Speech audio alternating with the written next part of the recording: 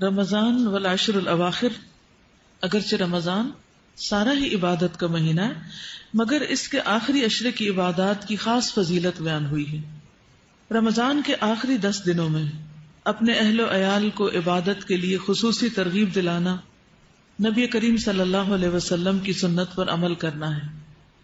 हज़रत आशा फरमाती है, कान नबी सल्लल्लाहु अलैहि वसल्लम इदा दखल आशरु मिज़रहु व अहया लैलहु व अयक़ज़ अहलहु जब रमज़ान का आखिरी अशरा शुरू होता तो नबी सल्लल्लाहु अलैहि वसल्लम इबादत के लिए कमर बस्ता हो जाते रातों को जागते और अपने अहले खाना को भी जगाते यानी सिर्फ़ खुद ही नहीं जागते थे घर वालों को भी जगाते थे तो इससे क्या पता चलता है कि एक इज्तमाही इबादत है जिसमें सब लोग मिलके इबादत करते हैं और रात की इबादत है आज की यूथ को रात के वक्त जागना बहुत पसंद है ऐसा ही है ना?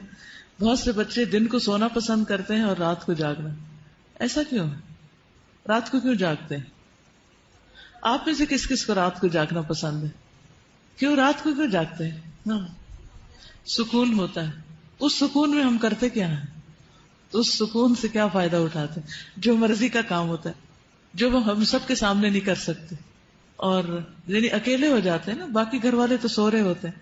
और फिर हम इंजॉय करते हैं अपने आप को और अपने कामों को और अपनी पसंद की चीज़ों को।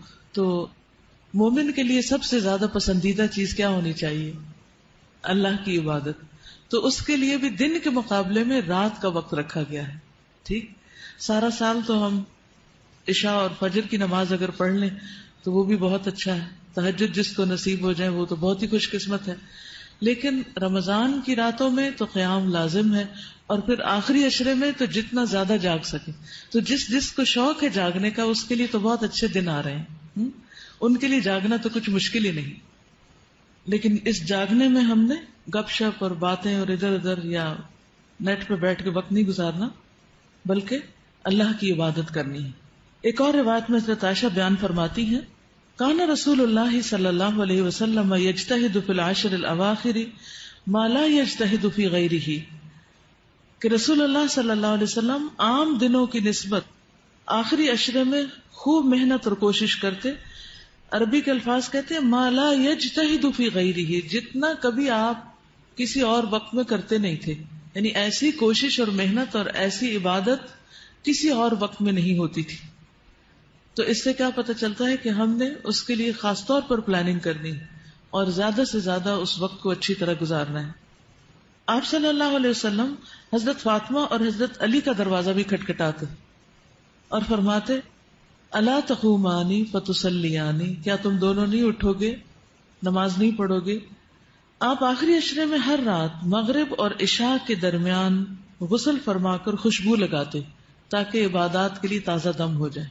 किस वक्त यानी इफ्तार वगैरह करके खाना खाकर और तरावी पढ़ने से पहले के वक्फे में, ताकि पूरी तरह फ्रेश हो जाए।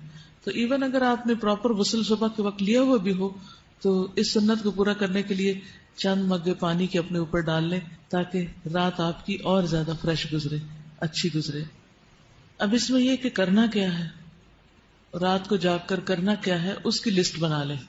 उससे पहले आप व्यायाम करेंगे तरावी का फिर उसके बाद आप कुछ अजगार कर सकते हैं, तिलावत कर सकते हैं, कोई दरस तदरीस कर सकते हैं, अगर कट्ठे घर में कुछ लोग हैं, कुछ सीख सिखा सकते हैं। फिर उसके बाद, बीच में चाय भी पी सकते हैं, ताकि जाग सके। फिर उसके बाद यह है कि फिर दोबारा क्याम करें और फिर फजर पढ़ के।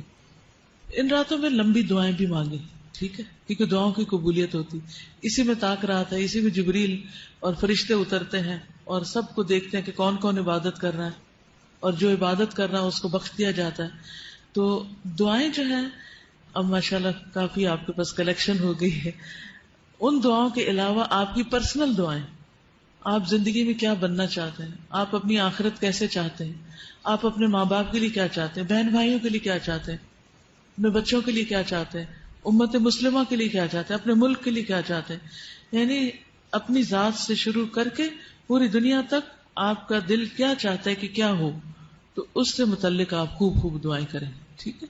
उसको अगर लिख लें, मैंने एक छोटी सी डायरी बनाई हुई है तो उसमें जब मुझे कोई दुआ याद आती है, जब मेरे अंदर कोई तलब पैदा होती है तो उसमें मैं लिख लेती हूँ कि अल्लाह मुझे ये अता कर। क्योंकि जब कबूलियत की रातें या औकात होते हैं तो फिर मैं उसको देख भी लेती हूँ कि कहीं कोई चीज़ भूल तो नहीं गई तो इस तरह आसानी हो जाती या हज उम्रे वगैरह पे जाते हैं तो उसमें भी फिर वहाँ जाकर बहुत ज़्यादा जहन